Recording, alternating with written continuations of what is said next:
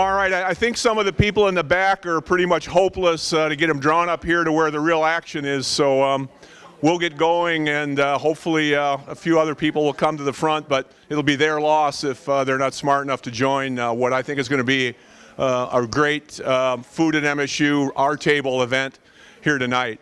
Um, I just by when I start by starting, I just want to echo some of the comments that Melanie made earlier. Is that we're very excited uh, from the College of Agriculture and Natural Resources and Ag Bio Research standpoint to really begin to build a stronger and stronger relationship with the College of Law because we think the intersection of law and food has been an important area for a long time, but it's getting more and more important every day. And so we're really excited to have this um, event here today. So we've met in some different places, including a recycling center, but I'd say this is probably our fanciest venue to date. I think the next time we do it, we'll probably have to do it in a barn or in a dump or something, but uh, just kind of balance it out. But uh, it's great to be here. So let me uh, get things rolling by uh, introducing uh, the host of, um, of our table, Sheril Kirshenbaum. Cheryl?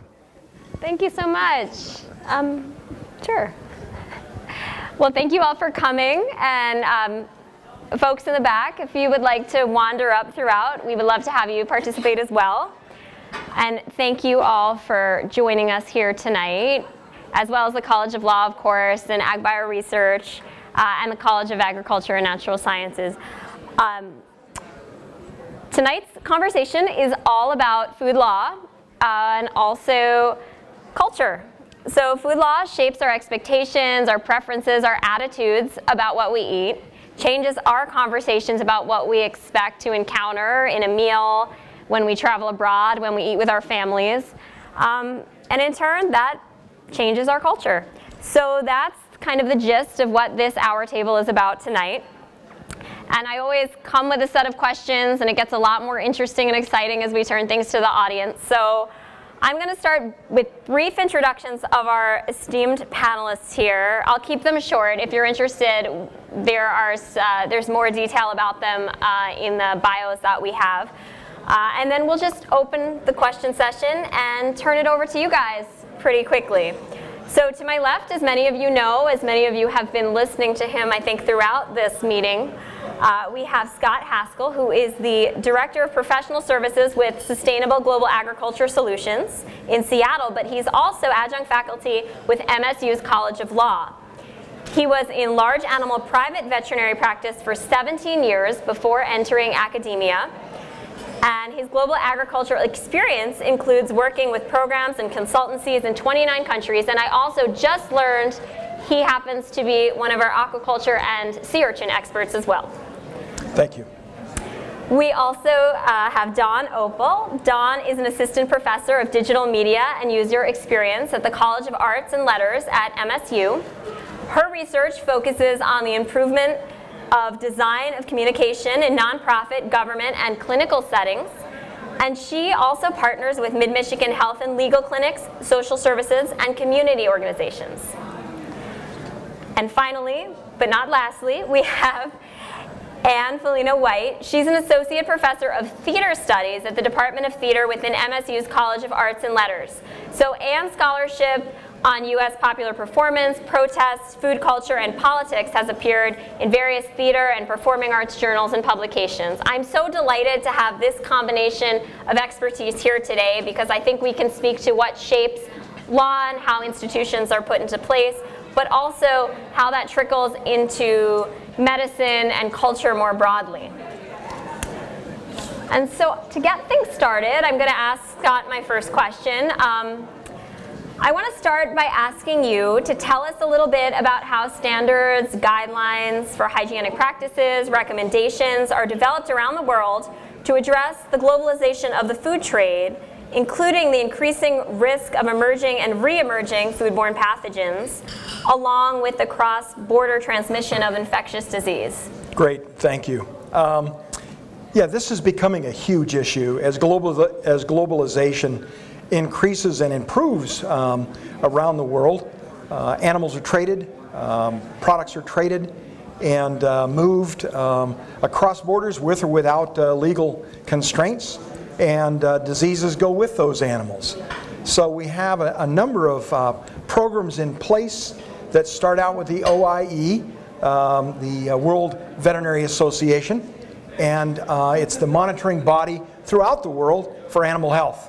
So with that, we have per performance guidelines that have been put in place, as well as the usual ones we're used to, HACCP, HARPC, um, ISO 2200 are all um, mechanisms whereby we can evaluate systems. Uh, good management practices come from HACCP and HARPC. Uh, if you're not familiar, globally, we utilize ISO 2200. That is the esteemed um, um, um, evaluation scheme uh, used in most nations around the world. Um, HACCP started in the United States as well as Denmark and then has morphed into um, a global program, but most international corporations like to see ISO 2200 on your evaluation program. It helps to, to, uh, to um, allow the processing plant, the production plant to, uh, to have management practices that are deemed essential. And so most facilities will write up a plan, uh, a management plan that enables them to go locally to utilize the, uh, the uh, indigenous species, to utilize indigenous feeds and, and, and uh, feed groupings within that general climate. Uh, one of the problems we've had in the past is feeding outside of a regime, having breeds outside of a regime that don't do well. Taking a Holstein from Holland to Zimbabwe is probably not a good approach. Mm. So we try to blend that with these management programs. Thank you. Interesting. Well, shifting kind of from this broad global health institutional perspective uh, to closer to home, uh, Dawn, can you talk a little bit about how the healthcare policies we have in place affect the way professionals talk and work in the food space uh, regarding nutrition as a part of clinical health? Sure. So I would say that the most important thing to remember is that clinical practice is driven by what can be reimbursed, right, by either the health, by either insurance companies or by the government for Medicaid. So because of that, um, a doctor or provider may recommend that someone say take a medicine with food, but the food obviously isn't going to be a part. it's a recommendation rather than a part of the prescription, right? So one of the things that um, that I think is important to look at is how that creates a cultural uh, sort of paradigm paradigm whereby food is not necessarily a part of a more holistic approach to health. And so um, one of the things that, that we're looking at, and well, I think we'll talk more about later in the our table, is how um, what a, a, more holistic approach uh, to our healthcare policy that incorporates food as a part of wellness and a part of a prescription of health, what that might look like. Hmm.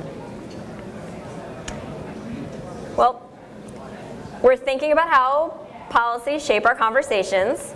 So turning to Anne, um, there are so many big food topics we hear about from a policy standpoint, a standpoint that makes the news right now. I mean, things like regulations related to food deserts, um, the impact of large-scale industrial farming on the environment, food safety, even gender. Uh, can you share a little bit about what theater artists have been doing, both in the past and now, in response?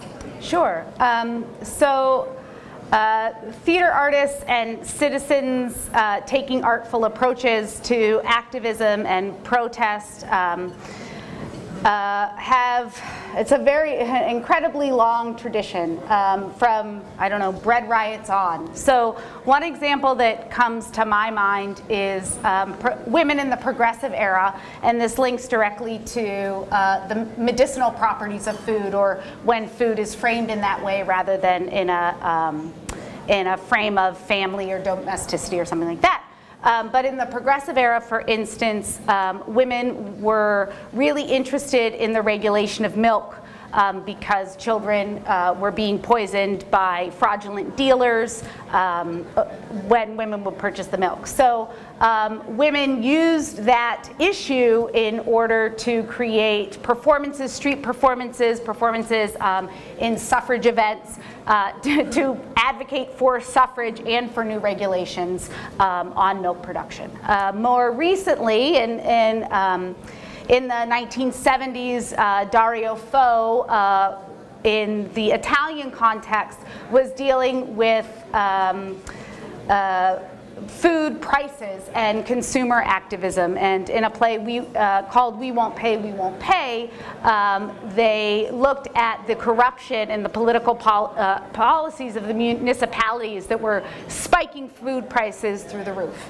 Um, recently in Los Angeles, a uh, Cornerstone Theater Company started a six-year project in 2012 called The Hunger Cycle.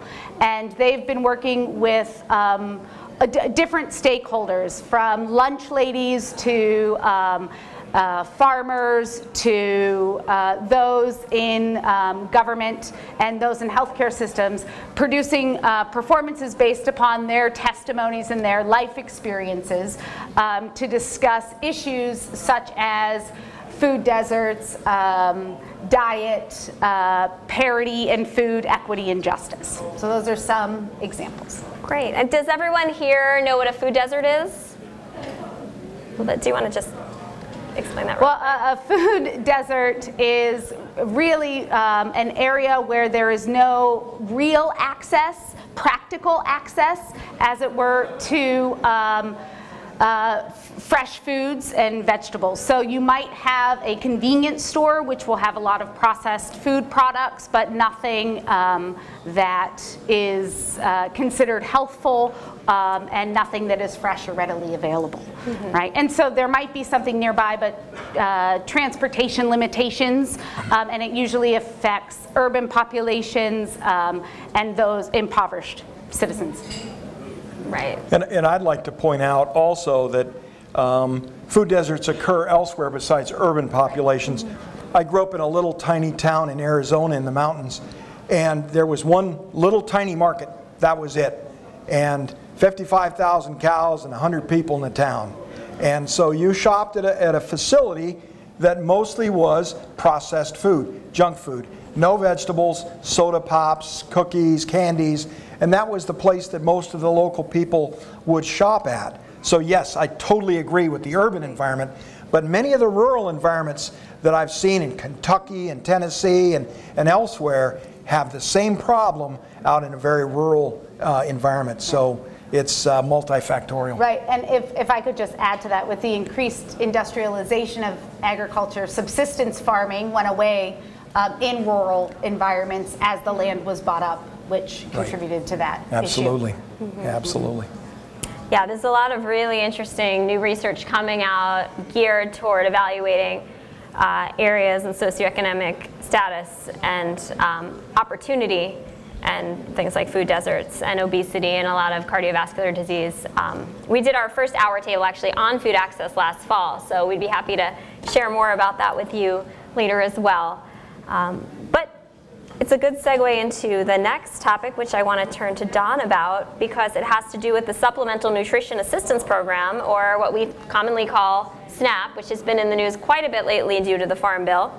Um, Dawn, can you give us some examples of what a food what a food is, I guess, and what it isn't, and how shopping for what counts as food in certain areas is more difficult, as we've been discussing, when these healthy, fresh foods aren't available?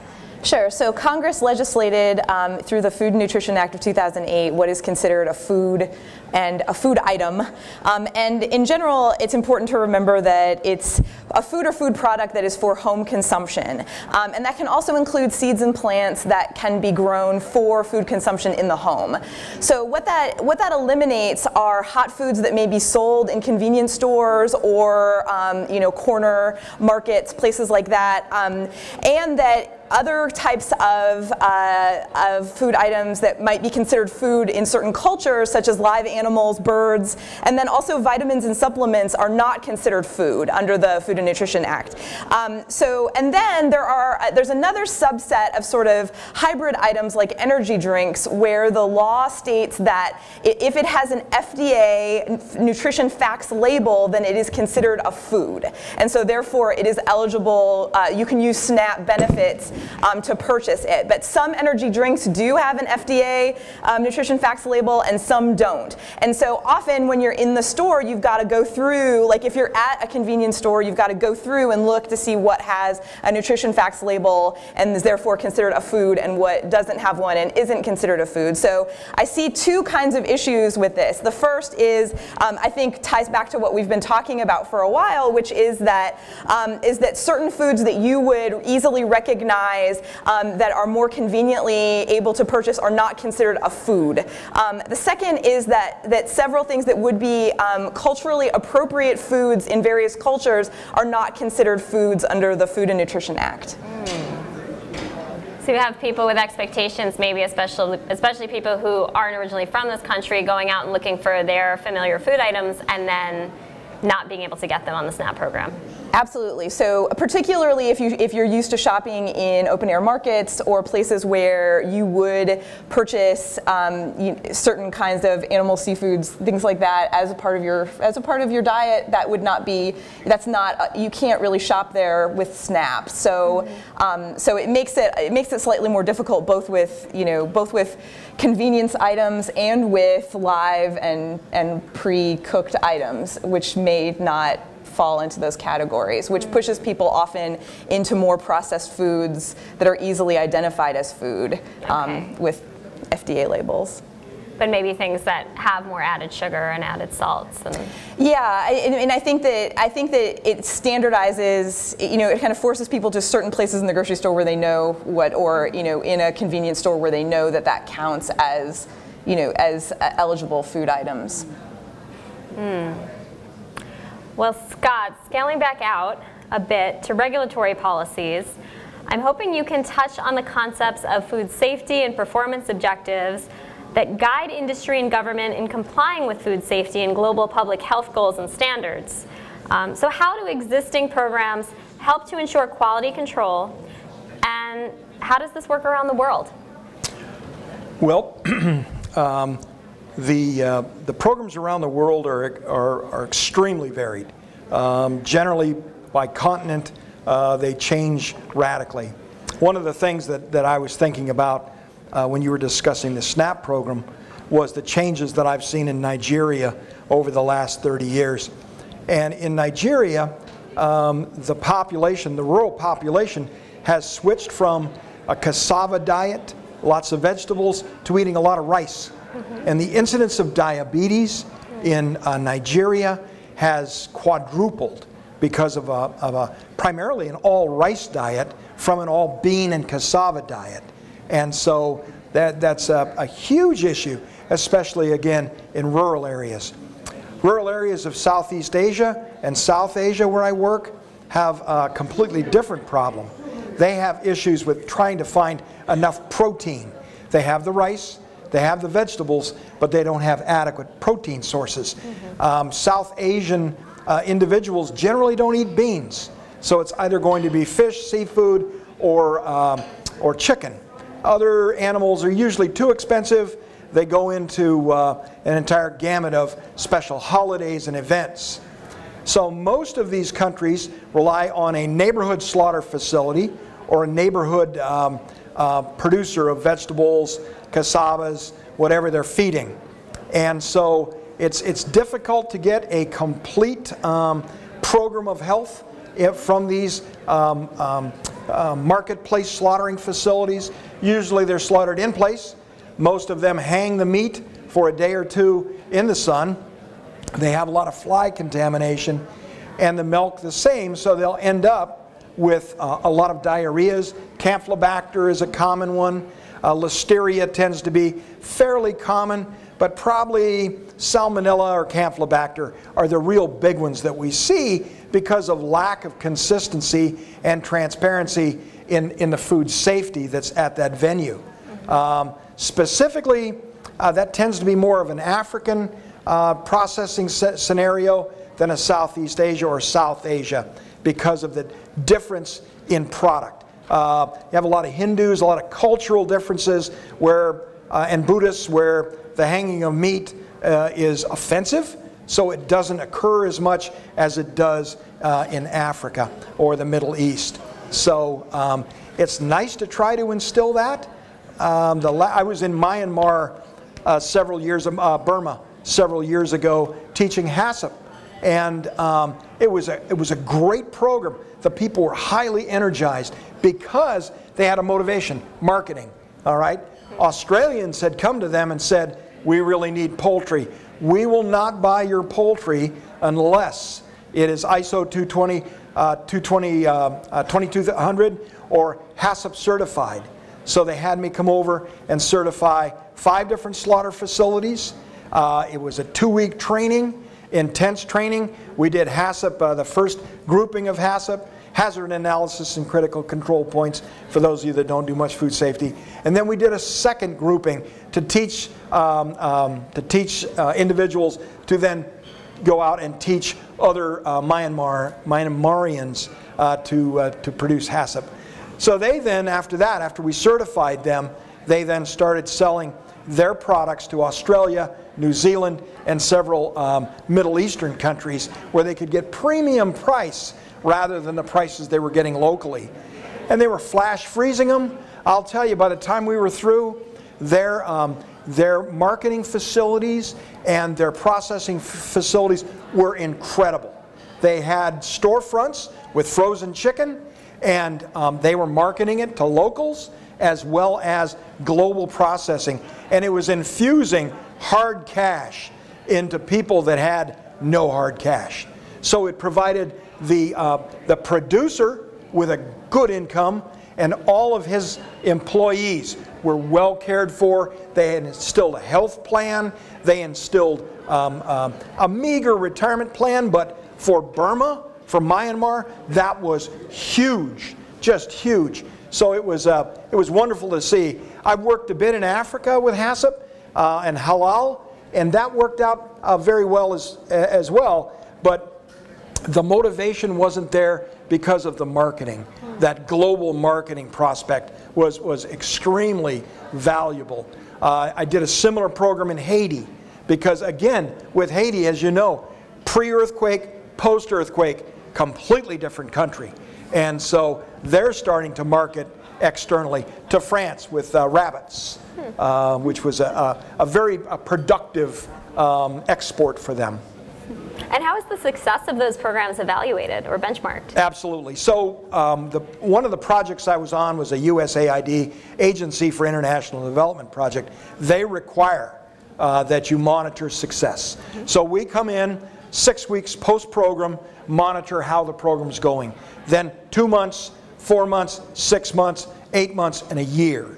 And we come back in stages to evaluate exactly if the, if the, if the plan is being followed, if, we're, uh, if we have the train the trainers uh, in place that are working locally to be a, a productive unit and monitored over here. I like to come back, and I do this many times on my own dollar, come back two years later and see if it's still in place. If you're in place two years later, you have a success. And I will say that many projects I've worked on over the years were limited success. Um, but when there's a market available, a global market where these individuals can, can make hard cash, it's a success. So it was ple- uh, pleasant to see.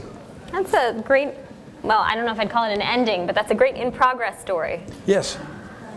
Um, well, Dawn, something I wanted to ask you about um, is that California, back to the US, has just passed legislation for a new program to prescribe healthy food as medicine for certain conditions. So I'm curious of your thoughts about that approach as well as whether you think that's something we should consider here in Michigan.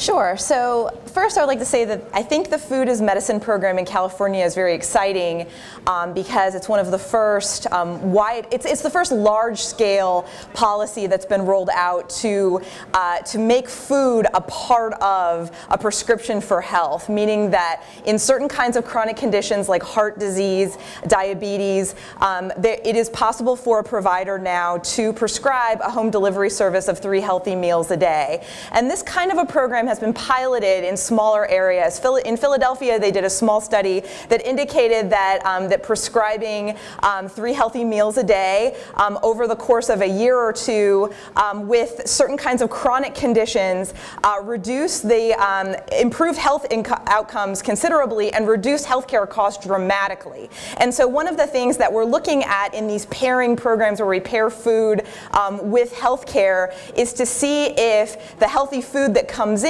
particularly in targeted, um, with targeted patients with certain kinds of chronic conditions, if it can um, reduce healthcare spending. And so instead of going to the emergency room um, with, with uh, to receive care for type 1 diabetes, having three meals a day, hopefully to sustain a healthy lifestyle, will take people out of the hospital and the emergency room and return visits to, the, to healthcare and reduce healthcare spending.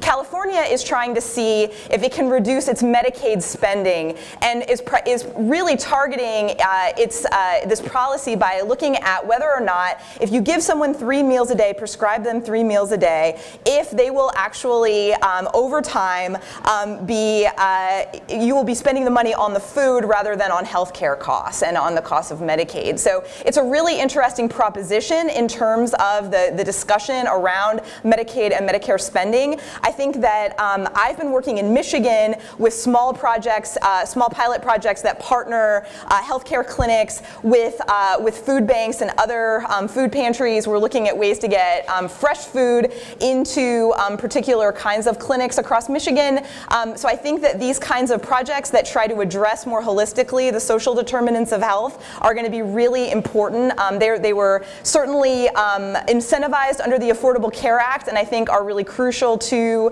moving to a more value-based rather than cost-based healthcare system. So I'm very enthusiastic to see how it goes in California and to get to get more data to see if um, to see what the numbers look like. Um, if we can be uh, using government um, spending on food rather than on emergency room bills, I think that everyone would be really happy with that outcome. I think that's really interesting because we often think of quote unquote bad foods, but foods with a lot of saturated fats, salt, sugars, as the reasons that people get certain debilitating health conditions. But we're often not perceiving it as something that's that's another way to stay healthy. Like I feel like the reverse is, is the story that's told more often in our culture than the kind of story that we're hearing about now. And I'm curious your thoughts about I mean, the culture, I, I, was in, I lived in California before I moved to Michigan, and, and we're obviously talking two very different cultures. Um, what do you think, what do you think maybe can be adopted here? Do you have any ideas to make this more of a, a, a normalized um, perceived benefit of food in a place like this? Well, I think that it starts, I mean, at least in the work that I'm doing, changing the culture in clinical practice mm-hmm. to embrace the idea that we all work together toward a healthy individual. And that really changes a sort of um, like using, like right now we operate with kind of, um, like the idea that a, a, patient or all of us that we operate at some kind of a detriment that like we're just not working out enough we're not eating healthy enough if only we tried harder. And that does not take into account like the material realities of a lot of patients. And so i think that this uh, strategy it's a huge cultural shift in the sense that a healthcare provider is taking the onus and that the healthcare system takes the onus onto itself to say that we can be providing our work as healthcare providers can be more robust to include, you know, why do we put all of the burden on people who are differently situated and we can't, like, you know, it, it, I think that social work has this very well, like, they very well understand and appreciate sort of the difficulties that are imbued in being told to eat healthy or to, you know, to exercise regularly, that, that you can tell someone that, that we are fighting cultural and material conditions that are way beyond the ability for like an individual to, you know, to take that on. I think think that what I've been enthusiastic about is seeing the ways in which healthcare is working with nonprofit organizations, and this is very much a part of what I do every day, is to improve the communication channels across healthcare and the nonprofit sector so that we can try to work together um, to, uh, to make these realities. I'm not so certain. I think that we're really going to be relying on organizations like Blue Cross Blue Shield to incentivize this kind of work. Mm-hmm. And so really it's going to come from the private payers. It has to. And I, I don't think that government policy, is particularly in Michigan in this political climate, is really going to drive that. But I do think that there's possibilities when people see the ways that I do think that healthcare spending can be reduced in the long run by some of these partnerships. That's interesting.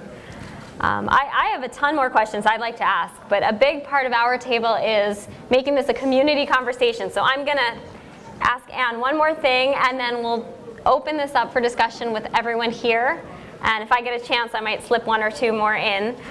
But we've been discussing, you know, how to change cultural perceptions internationally, nationally.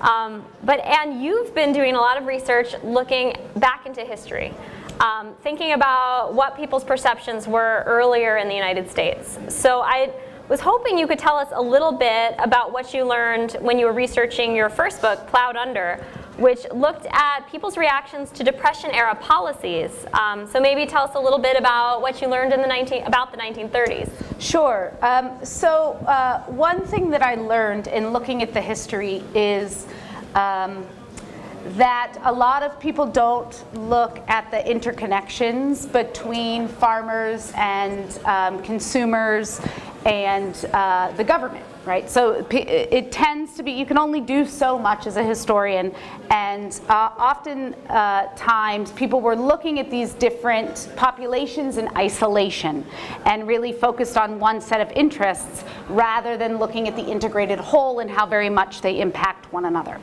So um, what I learned in looking at um, immigrant female consumers in Detroit and um, homeless, non-property owning uh, sharecroppers in, in Missouri and property owning dairy farmers in the federal government, um, all centered around a single food policy, was um, that the investment in um, food, what one, um, what one group would do would deeply affect another. So for example, um, when the uh, federal government was paying farmers um, to decrease production because there was not enough consumer purchasing power for the farmers to actually bring to market the foods they were producing. They couldn't actually even harvest food. Uh, dairy farmers couldn't bring milk to market. It couldn't happen. They didn't have enough, uh, they weren't getting enough for their products to actually produce.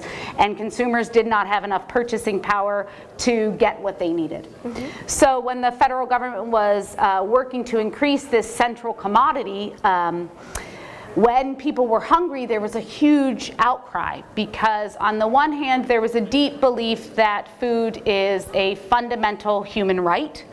Um, and on the other hand, there was a, uh, a deep, long-standing uh, American belief in that, uh, in the meritocracy, right? In that you really um, earn your living in the most literal, fundamental sense. Um, and so, for instance, when meat uh, prices soared uh, in Detroit following uh, decreased production uh, and housewives rebelled, they rebelled because cultural belief, you were talking about, um, I believe it was the South Asian context where they needed more protein. Well, in the US context in the 1930s, we had plenty of substitutes, and we knew about substitutes because of the First World War. But uh, there was such a deep-seated belief in the Polish-American population that there was no substitute for meat. And masculine health and, um, and energy could not be supported so without meat. So that um, these women were protesting because their husbands were unemployed. And they had a deep fear about the fact that if they couldn't get meat for their husbands, their husbands could not find work. They would not have the energy to do what needed to be done in order to find work or to work the full day. Um, so you see that happening at the same time you see um, dairy farmers who also um, couldn't uh, bring milk to market and an outcry against them because how dare you deprive those of us who need milk, women and children, um, because uh, milk was considered the nation's fundamental food in breeding good citizens, healthy citizens, um, that farmers, uh, blame was placed upon them for not just giving it away. Um, and so you see the way in which um, we all become deeply tangled, and by paying attention to one another, you can recognize the mutual dependency um, and, and also really recognize the, um, the truth of the matter in terms of the belief of, uh, of food as a fundamental right. Yeah, and you can test that, and that's, that's what I learned. Yeah, all these pieces come into play. I believe, wasn't it in the Depression era and beyond, lobster was considered the cheapest poor man's meal, whereas now we're willing to pay almost anything for a pound. Well, once we could figure out how to package and, and distribute it, mm-hmm. then it became a, and that really occurred in the in the 30s, mid 30s mm-hmm. to late 30s with refrigerated trucks and Right. refrigerated hauling. Yeah. But our tastes are very malleable. Mm-hmm. And so I think we see through Depression era politics, through a lot of the policies that we set in place, that we're willing to accept a lot of things as normal and matter of factly that maybe just look that way to us. So it opens up a whole other set of questions, but I'd love to, to turn things to you. So who's our, do we have a mic runner right now? Oh, Holly Whetstone is standing with the mic. So if you have a question, raise your hand and she'll come over. And also, please tell us uh, just who you are as well. Hi, uh, Ed. This is where, yeah, Ed Brejan. I'm here for with the World Bank. I'm, I'm interested in this idea of food as medicine, um, and uh, you know the dialogue perhaps with the insurance companies, because essentially, the insurance companies are getting a, um, a double benefit. Um, your self-medication is essentially you're um, internalizing your copay, and uh, the fact that you're uh, medicating uh, you know, better nutrition uh, is actually going to uh, favorably impact their actuarial tables in terms of the probability of your illness. And uh, I'd be intrigued as to whether you know they have any appetite for rebates, and what kind of conversations you're having with them, or what what that might entail, you know, and how perhaps even I mean since you know it's a good conversation, how social media might help form them some opinions around that. So. Yeah, I think that. yeah. First, I loved all the puns. Um, I think. I think it's interesting to watch the dance that's kind of going on right now in healthcare policy because, you know, because we all realize that the, the chronic conditions that are bankrupting the healthcare system are largely due to lifestyle and to um, environmental factors and the social determinants of health. So it's like we all know but now we're sort of figuring out who is going to pay for this. Like who are, and, and you know, knowing full well that, that lifestyle, that stress, workaholism, nutrition, you know, that these are all the things that are affecting heart disease, diabetes, like all these things that are breaking the system. So I watch every day at work um, people try to like tiptoe, like the healthcare system, the insurance company, and the government in this dance, and, and the food banks too, because I'm working with the food banks to figure out who will supply the food, who's going to pay for it ultimately.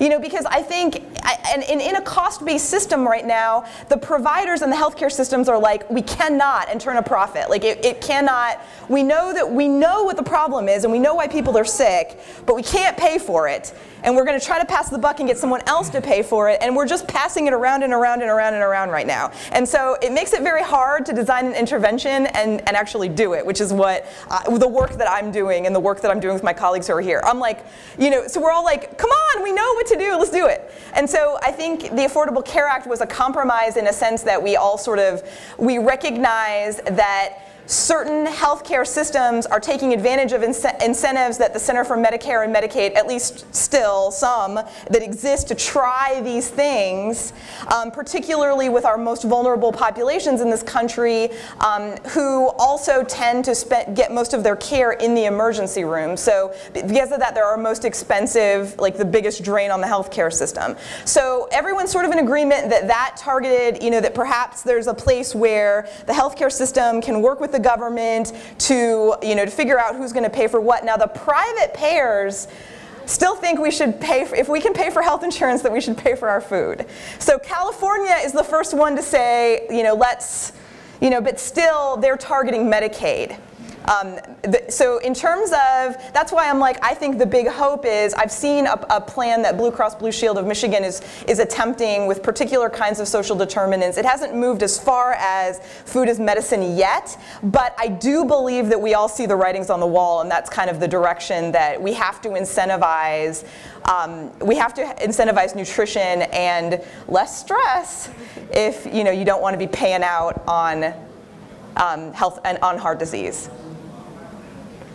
And I just want to say, I really liked, I believe it was the last bit of your question where you touched on the role of social media. Because I don't know the answer, but I could see that going a lot of ways. Because if there's anything that social media does, it's uh, spread a lot of information and a heck of a, probably a lot more misinformation. But I think potentially could do a lot of good on an issue like food as medicine. So we'll leave it to Dawn to figure that out for us at some point. um, does anyone else maybe have a question? Looks like maybe here. Um, hi, thanks. I'd like to thank all of the panelists. Um, this is very fascinating uh, conversation. Um, and I was interested, could you talk more about the role of theater? You talk about um, performance, and I was uh, in the, oh gosh, hold on, sorry. Um, in the food policy protest, because I'm particularly interested in how the medium of theater can add to our conversation also today, how it adds to, um, we have social media, we have websites, we have, uh, I think ultimately the question is, what can theater be giving us today um, as a way to spread the word? Sure, um, and I think I'm going to answer it in two ways. So um, the the first thing I would say is, you know, we're a media saturated culture, but we're also a uh, theatrically saturated culture. And so what you will see happen a lot in terms of activism and resistance is fundamentally theatrical tools being taken out of the theatrical context, right? Being taken out of the theater and brought into the streets or brought into, um, uh, uh, you know, public realms of debate, for instance. So um, you will, during um, SNAP debates um, in 2007, 2008, when they were talking about canceling uh, or, cutting it significantly once again, um, a lot of uh, legislators performed the, um, the basically the food stamp challenge, right? Where they tried to eat on this limited budget of like $3.28 per day or something, whatever the absurd um, amount of it is. And so they, they, they performed um, in this sort of trial period and all failed right, to do it. So that's a highly theatrical tactic, right, is to take on the, um, the positionality of someone who is in need of the SNAP program. You'll also see in, in the protest realm the use of food um, in these, because food is such a compact symbol, right? Like if I were to pull out an apple or something, first of all, you'd be impressed because you're like, where is she hiding it? I can see under the table. But, but after that, uh, it has, you know, from biblical associations to medicinal associations to, and, and that the compact use of it in the, um, in the, uh, the activist realm um, it's such a strong symbol that when you deploy it, when you destroy it, when I spill milk in the streets as a farmer did in the 30s, right? All of that sort of spectacularness um, uh, resonates in an incredibly intensive way because of the combination of both spectacle and the quotidian element of food, right, in, in all its materiality. And then the other thing I would say is in the theater itself, right, theater is a um, unique um, community forum in which different worlds are imagined, yeah, and in which we get to exercise our empathetic imagination. So um, a lot of uh, dramatists and uh, theater artists are um, raising awareness of all sorts of issues. So there's this crazy play um, about the indignities for farmers of large scale, of like just increasing scale, um, and it's a play called Pig Farm, right? And so as, as theater moves through its various circuits, whether they're regional theaters, national theaters, global theaters, right? Um, you can, a, a, a really, um, it, it gets distributed, right? In the most, in a really intensely local way. So it's just us, and you could reach out and touch me if you needed to. But then you hear it and you talk about it, and then you go, oh, it's on tour, or oh, it's happening here, or it pops up on the street because that happens too, right? Theater artists are sort of uncontrollable, uncontainable in that way. Um, it, it moves awareness through all of these circuitous routes. Um, so does that answer your question, Sonia? Great. Yeah.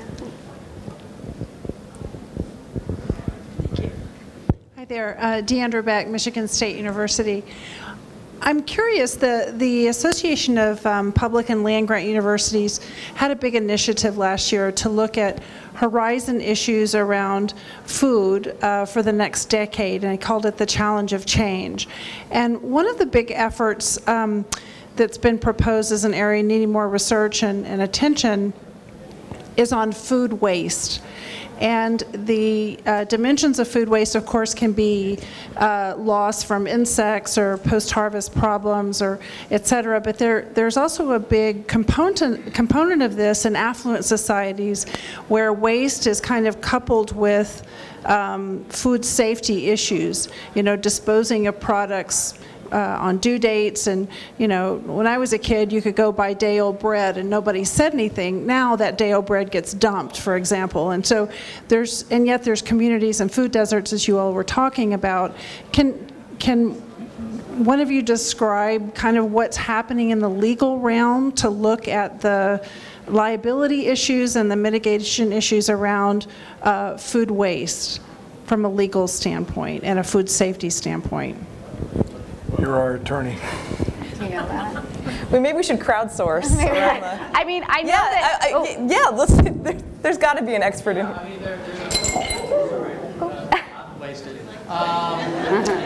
Yeah, there's a, uh, you might know about, it, but there's a one program that addresses this. Perhaps not so much on the waste, but on the loss. And then there is a difference. If I think, I think whatever, but on food loss that might be post-harvest uh, not used.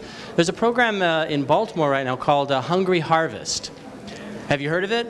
You have? Okay, good. Uh, and what they do is essentially source what would otherwise be thrown away. I mean, I have a subscription for about $15 a week, and it's like Christmas every Sunday. And, uh, you know, nice tomatoes, some misshapen potatoes from time to time, but it's all quite good. Uh, and uh, it doesn't get wasted. I actually think in a lot of places there's some, you know, some un- latent entrepreneurship there uh, because it could be mopped up and utilized because essentially the cost of it's zero. It's going to be thrown out anyway. So it could be uh, used for public procurement. It could go into school feeding programs. Uh, I mean, there's value that could come from it. So, yeah. To, to add to that, um, it's, it's becoming a real problem for the animal feed industry. Many of our uh, pet foods are, are made by agricultural waste and waste products. And those are becoming um, increasingly utilized in the energy realm as well as uh, multiple uh, programs that take that away. So it's driving the price of pet food up. And also, many of those spent agricultural products are fed to livestock. And uh, again, those prices are being driven up. So it, it has sort of this, this cycle that's working through. It's, it's being utilized or not utilized in the human realm, and it's being declined in the animal realm because there's less available um, agricultural waste. So globally, um, similar problem. When you have everyone in, um, in a culture, or most of the people in the culture, are extremely thin, do you think those animals are going to be extremely thin? Absolutely. Because the animals get the food that's left over from the human population. So, um, one of the challenges for new, uh, uh, new American uh, um, um, um, agricultural workers in foreign countries is that they don't understand why aren't your animals fed better? Why don't they have improved body condition scores? When in fact, the people that have the animals are so thin that there's no conceivable way that those products, that waste product, is going to be shared.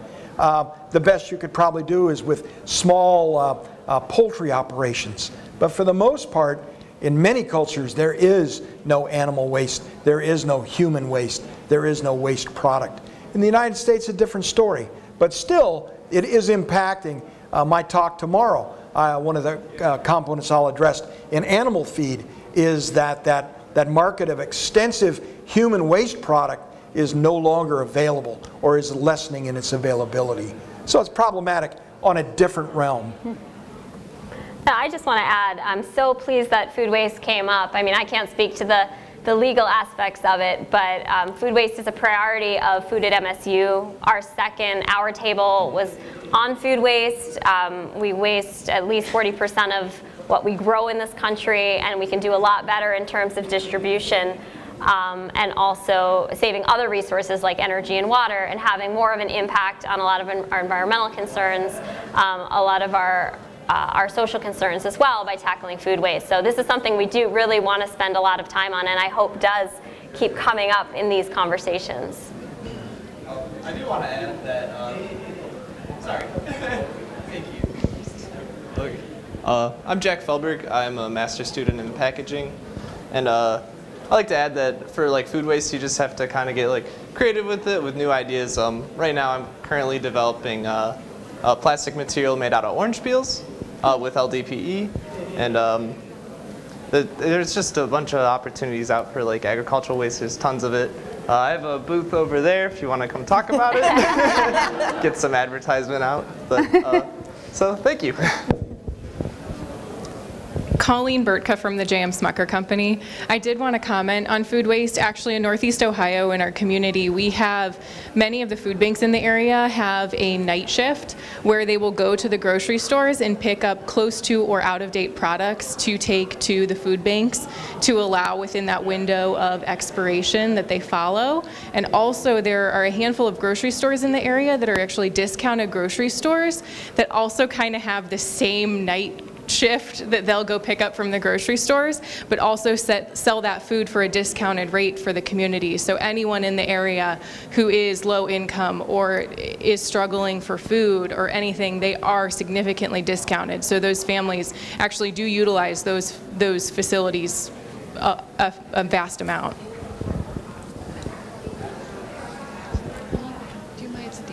Oh, sure. Well, I just got a lot of stuff. No, that's okay. Sorry.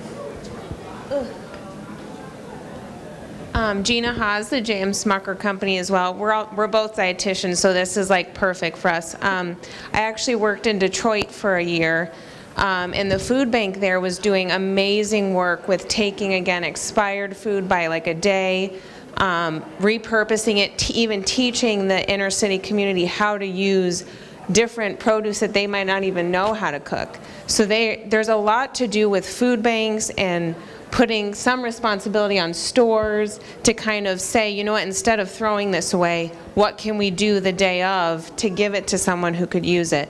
And I, you know, obviously expired food that's very expired, that's an issue, but there is not much legal for the day of, like you can sell that.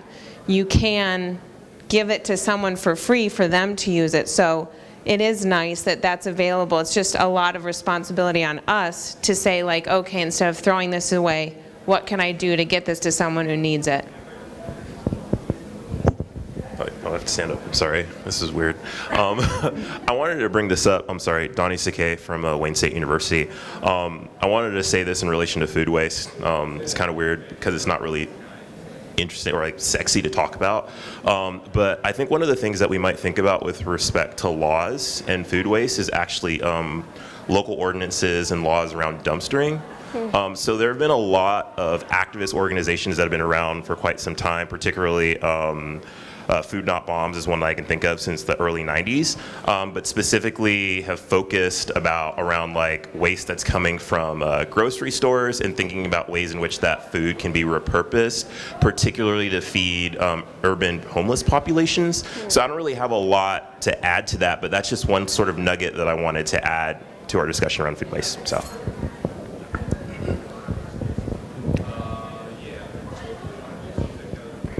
Well, thank you.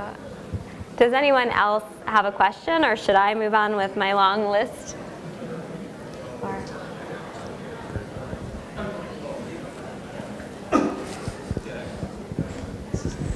Trace McCune with Lamb Weston.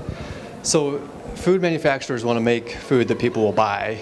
Then you've got the consumers, and then you have the government that regulates how foods are sold. So, can you talk about um, the accountability between these different groups for offering nutritious foods um, when a lot of times consumers get blamed for making bad choices, food companies get blamed for making foods that aren't nutritious, and the government gets blamed for not having regulations to um, make nutritious food available.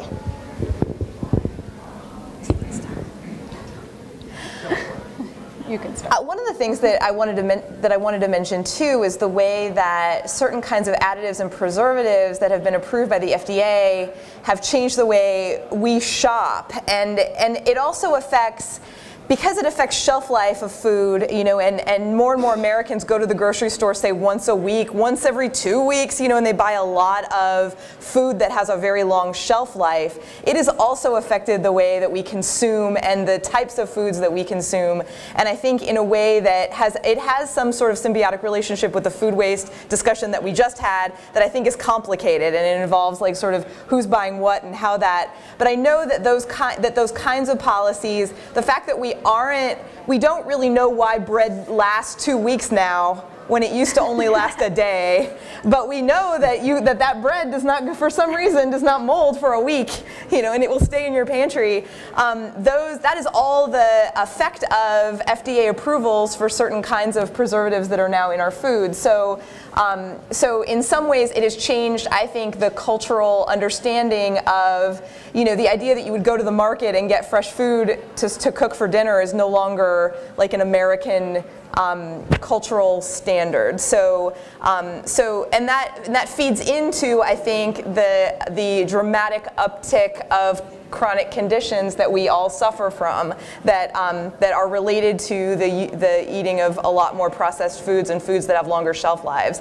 So I'm not sure that I'm not sure that I've directly answered your question, but I think that um, I think that there is something to this idea that we that we tend to treat like we, we tend to, I think, and it's an American cultural uh, like ideal too, to sort of blame the individual and to operate um, as though the, the individual works at a deficit um, rather than like taking into account systemic and institutional like like choices that the FDA has made in terms of what foods end up on our shelves in the grocery store. So, and that affects all people, not just folks that to have take SNAP benefits, um, but you know, but but everyone that's shopping. So. Yeah, which uh, which just um, and I, I think of it from the Depression era context. But when Dawn and I were first talking about the California law and experimenting with it in Michigan, my first response um, was to go. I, I, felt a big brother and I felt a deep paternalism and a blaming of the individual for the disease, right? And that potential when diet gets involved and when culture is potentially not taken into account um, or not considered valid when it comes to health, right? So that somehow cultural um, associations with food a person can easily push aside because it has to do with their health right? So you can forget culture and you can remember your health. And so for me, my concern is the, um, the intimate knowledge of, um, of one's diet right, by an insurance company for someone that then becomes an insurance liability. Um, and that, of course, is all uh, based on the sort of blaming the unemployed for being hungry, right? Uh, even in the context of the Depression, it happened. Um, and so I think I, I'm, I'm really interested in that dynamic, right? It's a, I think that addressing the social determinants of health puts us in a tension between understanding that certain conditions in our lived experience affect our health and then attempting to get at those from an institutional perspective inevitably will set off someone like Anne. But for someone like me who looks at it and says, um, you know, that this is a life or death situation, particularly for someone who might live in a food desert, to have, to, to at least know that, you know, home delivery of food eliminates the transportation issue. It eliminates, so like environmental factors are all eliminated. So for me, it says, you know, is that a trade-off that is worth taking? And I think that's the question, that's sort of the, you know, that's the philosophical, ethical, cultural question that is that is what we what we would ask, particularly coming from the humanities, I think. Um, but it's us, what I find really amazing about this conversation that Anne and I are having is that is that when you go to the medical community, you know, that would, none of this would even be, like, even the idea that you would engage in a more holistic approach to health is so left of center that it would never even be engaged with at all. So, Absolutely. like, so, like, we're sort of looking at, I don't know, I find this fascinating. Yeah, but, um, I feel like it's a really, it's a really exciting problem to have. Um, and it's you know I, I, am not I'm not diminishing the excitement. I'm saying this is really exciting. What about all of these cultural implications? Like when can we get to those, right? And and let's get to them before we get to the end of this, um, or before it's totally insti- institutionalized, and then I'm writing about the protesters, right? yeah. And and I mean and that brings up an interesting piece too. Uh, if you remember a handful of years ago, coming straight from the White House, we had people wanting to push simply that I think it was like the children eat more vegetables, mm -hmm. and there was pushback just for something as simple as that. And we're living in this culture where it seems like every other commercial on television is like a hot dog wrapped in a burger that's wrapped in a cheesecake, and that's the newest thing that everyone wants to go out and buy because that's we, we celebrate you know we celebrate holidays with food, but but that is inherently part of our experience in this country. So if institutions try to go in and change that, it's not something that they can just come from this top-down perspective and say, okay, now you're all going to stop eating that, you know, turkey inside a duck inside whatever it is that people do on Thanksgiving now. Um, yeah, I, I mean, I'm, I'm the last person to have the solution to this. I just, I think you do bring up kind of a lot of interesting pieces of this puzzle. Yeah, yeah, and the uh, the fundamental human right to food historically is the hardest thing to get anyone to pay for because it's a positive human right. So it's, right, so uh, what I mean by that is a negative human right is you may not do this thing. And it's really easy to see things you may not do right? And to guard against those and, and uh, create policy and laws regarding those. But when it comes to everyone deserves access to health care, every, it's a, food is a human right. Yeah, who's going to provide this, right? And who and it's such a fascinating issue that you're dealing with because you bring the question of whether or not access to health care is a human right and access to food is a human right together and so I find it fascinating. And then what kind are you providing? That's so, right. So we've experienced that a little bit with putting the food pantry in a medical clinic because what you provide then, what we saw initially was that certain folks would only take certain kinds of things that were offered. So, um, so that affected food waste coming from, you know, when we brought fresh food and vegetables to the clinic, and um, and then sort of also the cultural sensitivities around what food a food pantry takes, how they sell them as commodities for in exchange for fresh food, and then do. So what we ended up, I think, in at a certain clinic, they added a nutritionist who would teach about the use of certain produce items at the same time. So you go to the doctor, you get the food from the food pantry, and you get a lesson about how to cook it, and you leave. And that's pretty, like that's an integrated approach, but also I think, yeah, you're making, you inevitably have to make cultural decisions about what that person should do with their life, you know, when you're making, and so yeah, it's a very interesting, um, but the idea being that, you know, that if you can get it all there, the hope is that, you know, there can be a, a dialogue about what is possible in terms of your health more holistically.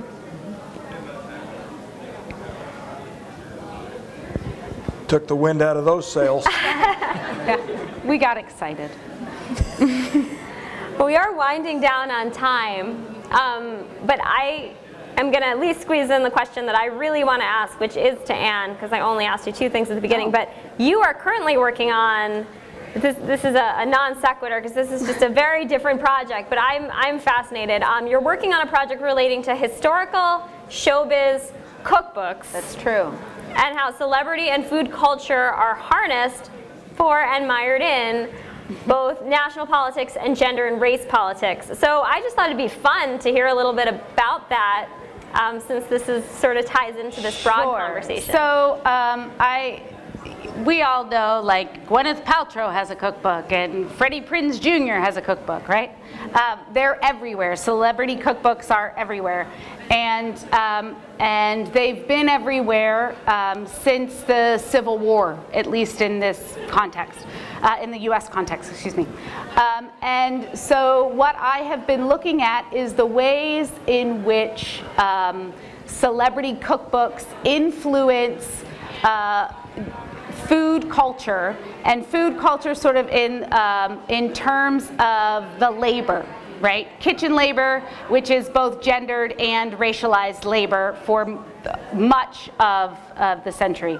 And so uh, I'm looking at the ways in which different um, uh, actresses, for instance, discuss food as an art form, whereas, uh, and sort of praise domesticity, um, the exclusions and of any um, African American um, performers from these cookbooks until mid-century, um, and at the same time, the constant invocation of the theatrical figure um, from minstrelsy, the mammy figure, um, as a way to create um, the feeling of home and how celebrities use that theatrical figure, um, at the same time excluding um, any reference to African American influences on cooking, even though most likely um, the cooks in the households of famous people were either African Americans or Irish uh, domestic workers.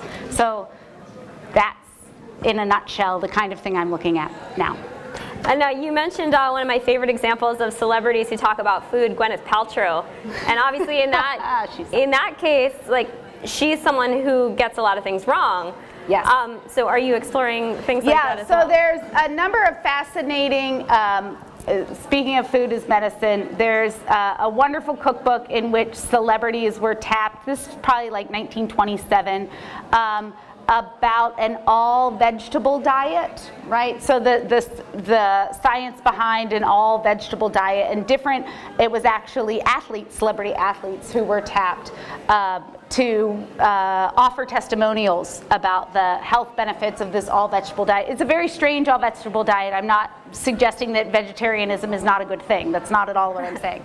Um, but it was this sort of very particular fad and trend. Um, and really how um, the admiration and the aspirational qualities that a fan might have, right? If you consume like a celebrity, you'll end up like a celebrity in one way or another, right? Beautiful, wealthy, happy, whatever might be imagined. Um, and they get a lot of things wrong and yet wield a lot of power. Yeah. Yeah. Well, does anyone else have anything to say? If not, I'll give everyone on the panel, Scott, Dawn, and Anne, a, a chance for any closing remarks, and then uh, just say thank you, I guess. You covered a lot Okay. of stuff. Thank you all for coming. It's, it's been a, a wonderful experience for me. Um, I, I do enjoy sharing what I've done with my career. Um, and I think the importance of uh, global food and uh, feeding uh, the, uh, the 9 billion people in 2050 will be up to us as a generation and uh, to your students as they come along. Uh, feeding that 9 billion people when we can't feed 8 billion people will be a challenge. So, gearing up for that, learning about packaging, learning about nutrition, learning about growing food, learning about GM food, learning about all these concepts, I think is extremely important. It's up to you. The, the mantle will be passed, and it will be passed shortly.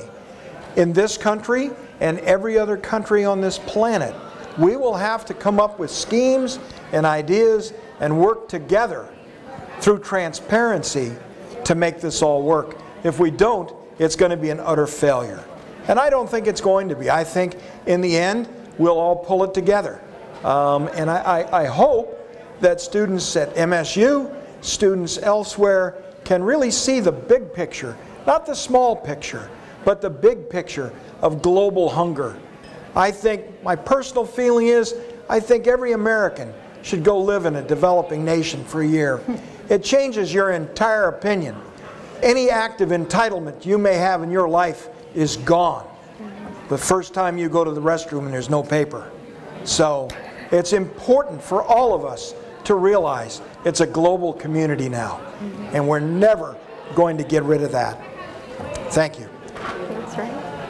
Yes, thank you. I feel the same way. Thank you so much for to be able to speak to you all is wonderful. I would say that you know I started my career as a legal aid attorney, and um, and now I work as a researcher on the design of communication in clinics, both legal and medical. And I find that my job is exactly the same. That we're all trying to work on, I think, incredibly complicated problems and communicating across disciplines and across industry, government, and nonprofit is what I found to be the most effective way to really cut against some of the you know the confusion and the questions that we have around what we might be able to do to make folks healthier and to get access to healthier food. So I really encourage like greater dialogue, and I'm, I would love to talk to everyone that's here after this is over. So th- thank you for listening to our prepared comments, and um, and and thanks for being here. I feel the same way, and I, I feel like you know I'm at the I'm at the end of this, and they really have both Scott and Dawn have summed up beautifully. Um, the power of an interdisciplinary panel like this. Um, I both uh, learned so much, and so much of what you said resonated with the ways in which I think and understand the problems um, and the joys associated with food. And so it was really nice um, to hear about the ways in which you look for solutions to very similar problems. So thank you. And thank you all for listening. Well, thank you all so much for being a part of our panel. I mean, that is that is the whole purpose to have these interdisciplinary conversations about issues that are impacting us personally and globally, and to include our community as well. So, thank you all for coming. Um, we have a lot more coming up with our table. You can go to our website, which is food.msu.edu, to both keep up with our table, but also to be a part of the conversation there. You can ask questions, and we'll find experts to answer them. Um, we have a whole bunch of people across campus that are involved. So we hope that you all stay involved with, um, with our table and food at MSU. And of course, we hope all of you stay involved in what we're doing as well. So with that, I'd just like to say thank you. And thank you again to the College of Law, to AgBio Research, and to everyone with food at MSU. Thanks.